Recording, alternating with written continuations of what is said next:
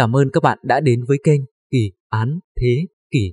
Kỳ án về Vương Diên Khánh, sự thật về vua trộm Sơn Tây ở Trung Quốc.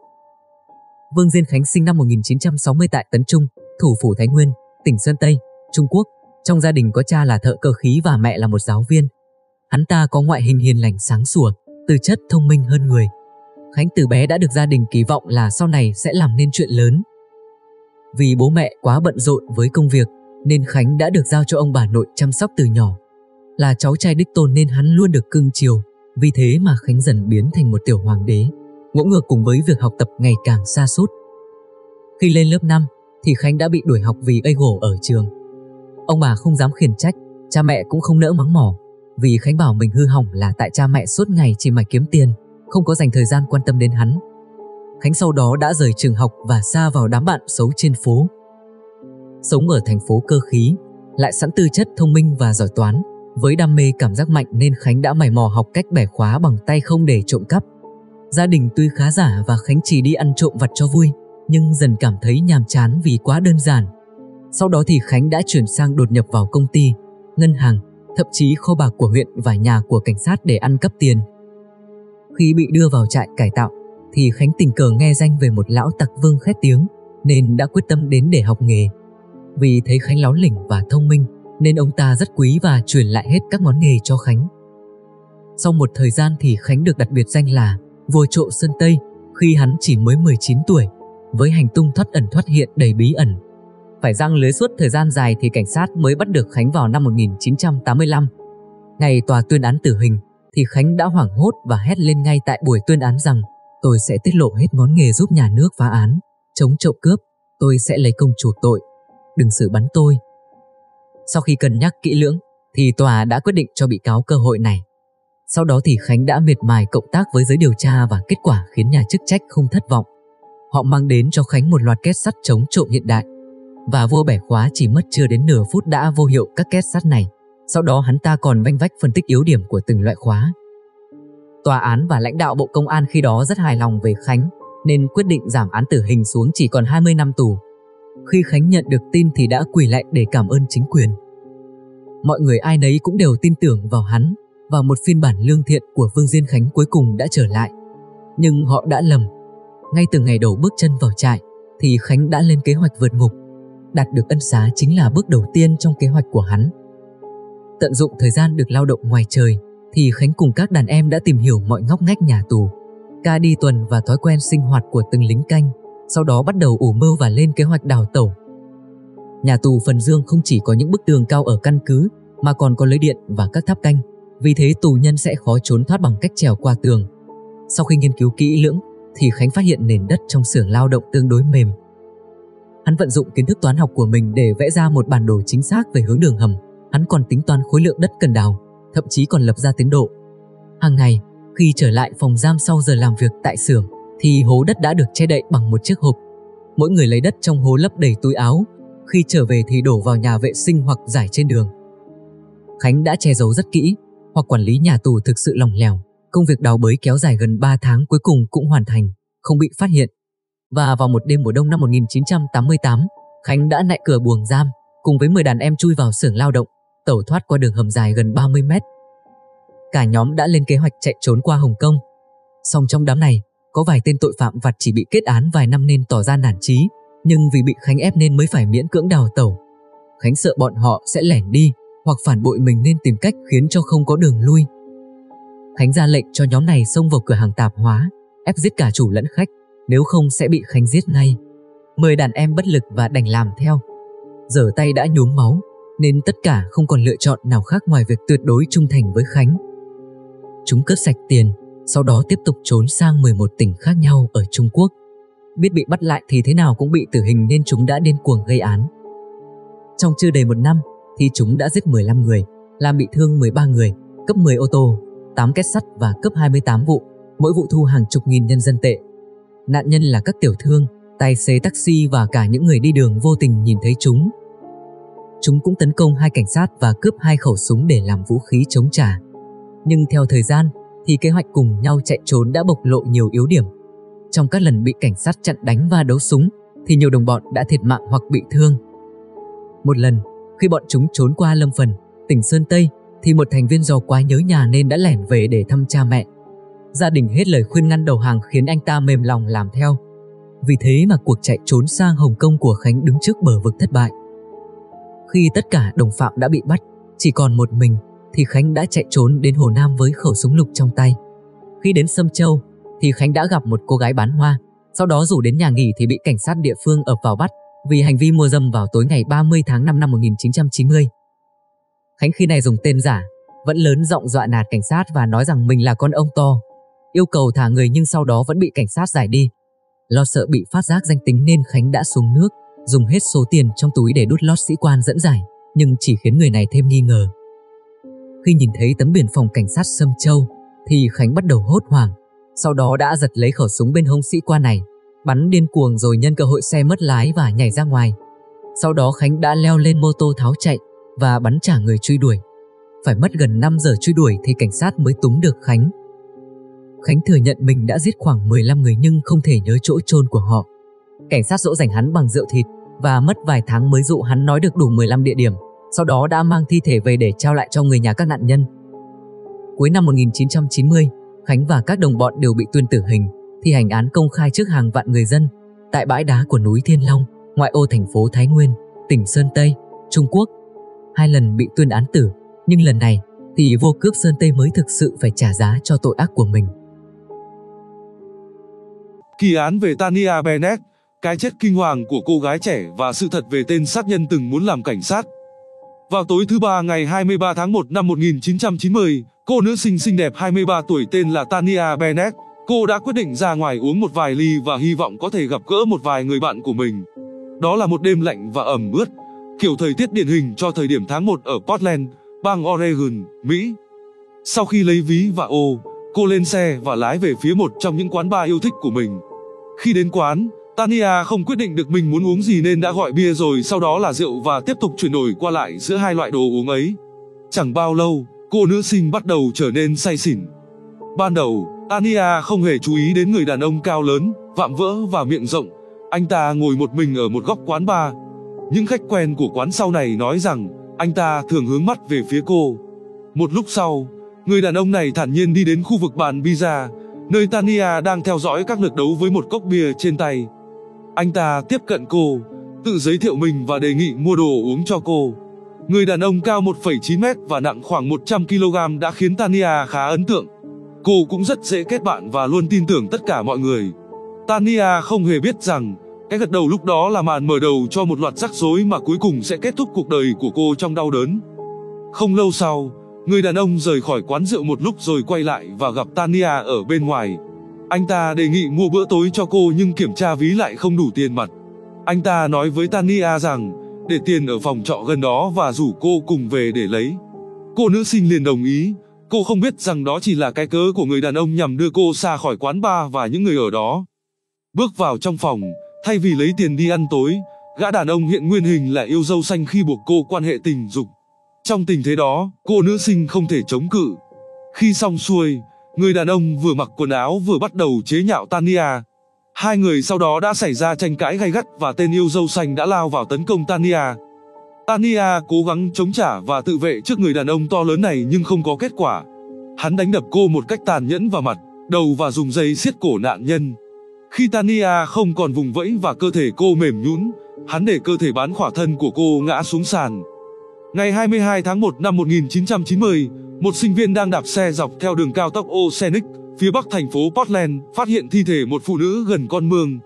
Cảnh sát lập tức có mặt ngay sau khi nhận được tin báo. Tại hiện trường, thi thể nạn nhân trong tình trạng áo lót bị kéo lên trên và quần thì bị tụt xuống mắt cá chân. Khám nghiệm pháp y cho thấy cô nữ sinh 23 tuổi Tania Bennett bị thắt cổ bằng dây thừng và bị xâm hại tình dục trước khi chết. Theo lời kể của người thân, Tania Bennett thường lui tới quán bar và chạm dừng xe tải. Dựa trên dữ kiện ấy, điều tra viên tập trung trước tiên ở các nơi này. Và trong một quán bar, nhân viên quán nhớ lại từng nghe khách quen của quán là John khoe rằng anh ta đã sát hại một phụ nữ mà anh ta gặp trong quán bar. Tuy nhiên lúc đó người này chỉ nghĩ rằng John nói đùa. Cảnh sát lập tức tìm hiểu thông tin về John. Người đàn ông này là một kẻ nghiện rượu có tiếng. Thời điểm đó, John đã bị quản chế và treo bằng lái vì lái xe khi say rượu. Đáng nói, Laverne Pavlinac là vợ của John Sosnos cũng cáo buộc anh ta giết Tania Bennett. John Sosnos lập tức trở thành nghi phạm. Khám nhà John, cảnh sát không tìm thấy đồ cá nhân của nạn nhân nhưng có tìm thấy một phong bì thư có ghi tên Tania Bennett ở mặt sau. Người nhận thư là John Sosnos. Làm việc với cảnh sát, John Sosnos phủ nhận việc giết người cũng như dòng chữ ghi tên Tania Bennett ở mặt sau của bì thư. Trong khi đó, Laverne Pavlinac đã thay đổi lời khai của mình. Lúc đầu, cô cho biết trong khi khoe khoang về vụ giết người, chồng mình đã tiết lộ nhiều chi tiết khiến cô tin anh có tội. Trong lời khai mới, Laverne Pavlinac lại thừa nhận tận mắt chứng kiến chồng cưỡng hiếp và giết hại nạn nhân vào đêm ngày 21 tháng 1 năm 1990. Laverne còn nói rằng John đã ép cô giúp đỡ anh ta vứt xác Tania. Dựa trên lời khai của người vợ, cảnh sát khởi tố John Sosnos về tội giết người và Laverne Pavlinac trong vai trò đồng phạm. Người vợ lập tức nhận tội. Tuy vậy, vụ án vẫn còn đặt ra nhiều dấu hỏi. John Sosnos khai đã từng gặp nạn nhân tại quán bar gần nhà nhưng một số nhân chứng cho biết rằng đã nhìn thấy Tania Bennett tại một quán bar khác cách địa điểm ấy khoảng 40 km vào tối hôm xảy ra án mạng. Ngoài ra, khi ấy nạn nhân đã chơi bia với hai người đàn ông không rõ danh tính nhưng cả hai đều không phải là John Sosnos. Dù vậy, trong phiên tòa xét xử đầu năm 1991, bồi thẩm đoàn vẫn kết tội là Vườn Pavlinac mức án 10 năm tù với vai trò đồng phạm. Trong khi đó, John Sosnos vẫn kiên quyết khẳng định mình vô tội.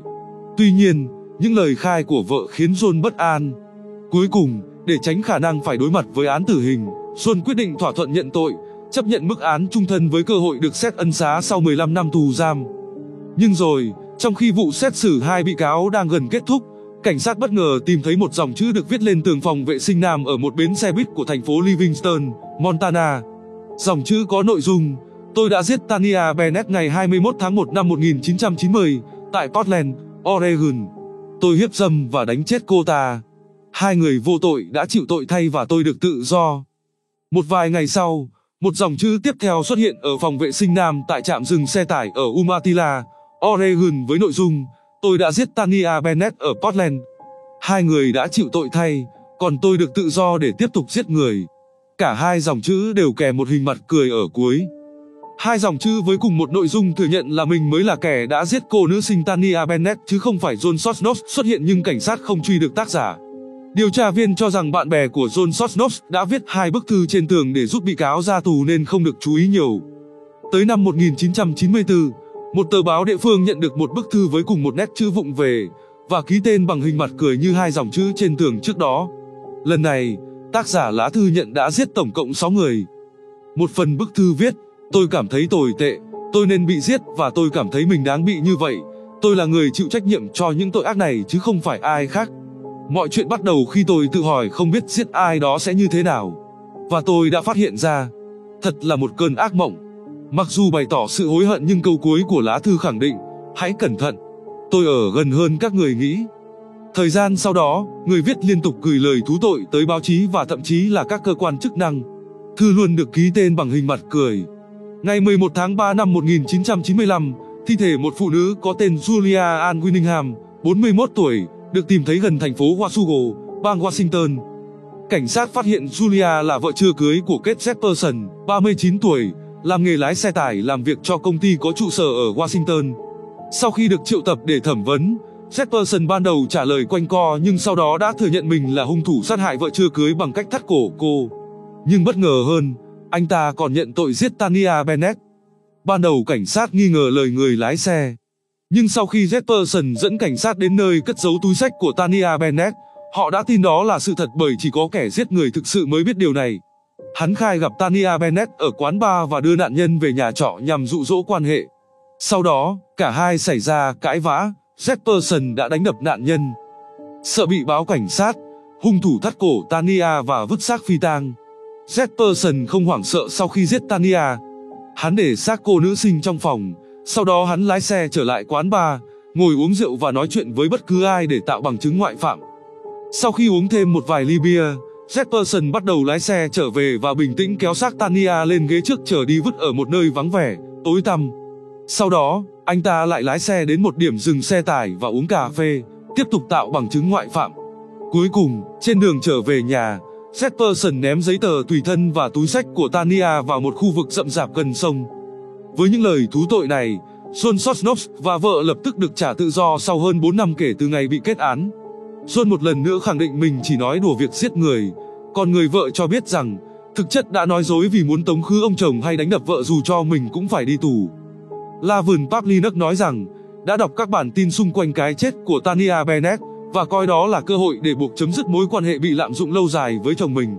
Cô đã sử dụng các chi tiết đọc trong các bản báo cáo để đưa ra câu chuyện tưởng tượng rằng đã chứng kiến John cưỡng hiếp, giết người và bị buộc hỗ trợ vứt xác Tania. Cuối năm 1995, Jefferson nhận tội trước tòa đã giết hai người là Tania Bennett và vợ chưa cưới Julia Winningham. Hắn bị tòa tuyên phạt tù trung thân không ân xá. Tuy nhiên, mọi chuyện không dừng lại ở đó khi Jefferson tiếp tục tiết lộ đã giết nhiều người khác. Kate Hunter Jefferson sinh ngày 6 tháng 4 năm 1955, là con thứ ba trong gia đình có 5 người con. Cha của cậu là một người nghiện rượu và độc đoán, ông nội của Jefferson cũng là người ưa bạo lực. Cậu có một tuổi thơ đầy khó khăn và rắc rối khi bị chính gia đình mình ruồng bỏ. Jefferson ít được chú ý hơn các anh chị em và bị đối xử khác biệt với những người còn lại trong gia đình. Jefferson cũng gặp khó khăn trong việc hòa nhập và kết bạn vì thân hình quá khổ của mình. Những người anh em của Jefferson không những không giúp đỡ mà còn chế giễu cậu. Chính vì điều này, cậu là một đứa trẻ nhút nhát, cô đơn và thích chơi một mình. Cậu thường gặp rắc rối vì những hành vi xấu mà đôi khi là bạo lực của mình. Mỗi lần như vậy Jefferson lại bị cha trừng phạt nghiêm khắc bằng cách đánh đập thậm tệ. Khi mới 5 tuổi, cậu đã có xu hướng tra tấn và giết hại động vật. Jefferson thích thú khi nhìn những con vật đánh giết lẫn nhau cũng như lúc lấy mạng chúng. Lớn hơn, cậu bắt những con chim và chó mèo đi lạc để đánh đập dã man và sau đó bóp cổ chúng đến chết. Trong những năm sau đó, Jefferson cho biết thường nghĩ về việc sẽ như thế nào khi làm điều tương tự với một con người. Mong muốn đó thể hiện trong hai vụ giết người có chủ đích nhưng không thành công. Lần đầu tiên xảy ra khi cậu khoảng 10 tuổi. Jefferson lúc đó chơi với một cậu bé cũng thường xuyên gặp rắc rối như mình tên là Ma ẩn. Jefferson nói rằng đã nhiều lần bị trừng phạt vì những việc Ma ẩn đã làm nhưng lại đổ lỗi cho mình. Điều này dẫn tới việc vào một ngày, Jefferson tấn công và đánh đập Maun một cách thô bạo cho đến khi cha của cậu xuất hiện và kéo cậu đi. Jefferson sau này cho biết ý định lúc đó của mình là giết Maun. Khoảng một năm sau, tại một hồ bơi công cộng, Jefferson đã dìm một người bạn khác xuống nước, giữ chặt đầu của cậu nhưng rồi nhân viên cứu hộ đã đến kịp thời. Năm 1975, ở tuổi 20, Jefferson kết hôn với bạn gái tên là Rose. Cặp đôi có ba con, hai con gái và một con trai. Jefferson lúc đó đang làm tài xế lái xe tải. Nhưng rồi, những căng thẳng trong cuộc hôn nhân ngày càng gia tăng và sau 14 năm, Rose quyết định bỏ về nhà bố mẹ đẻ để sống. Con gái lớn Melissa vẫn sống với cha cho đến khi bố mẹ chính thức ly hôn vào năm 1990.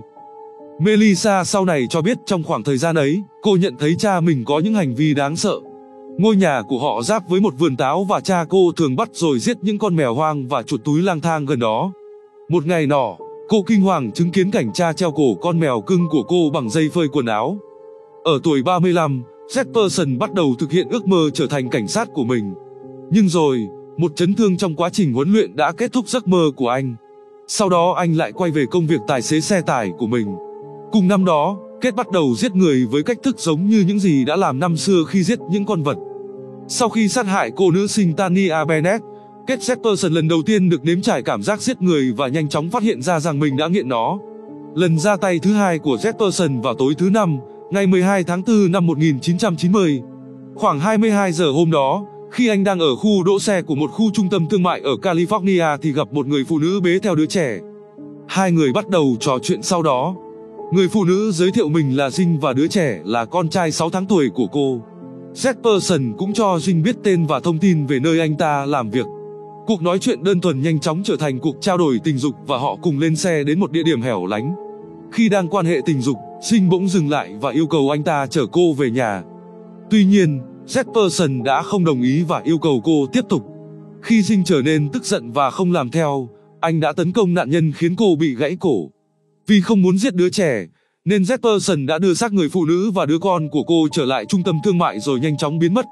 Hơn một năm sau, Jefferson tiếp tục tội ác của mình.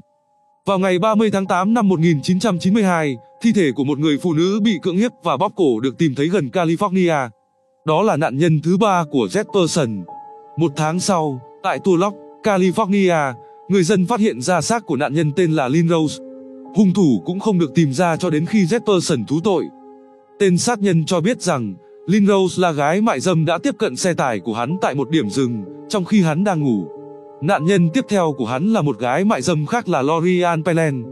Theo lời Jefferson, sau khi quan hệ tình dục, Lori đã đòi gấp đôi khoản tiền so với lần trước đó. Khi Lori dọa sẽ gọi cảnh sát thì Jefferson đã liền bóp cổ cô.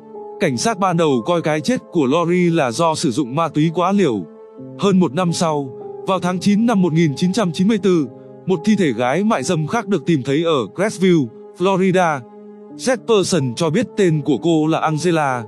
Tháng 1 năm 1995, khi trên đường lái xe, anh đã đồng ý cho Angela đi nhờ từ bang Washington tới Indiana.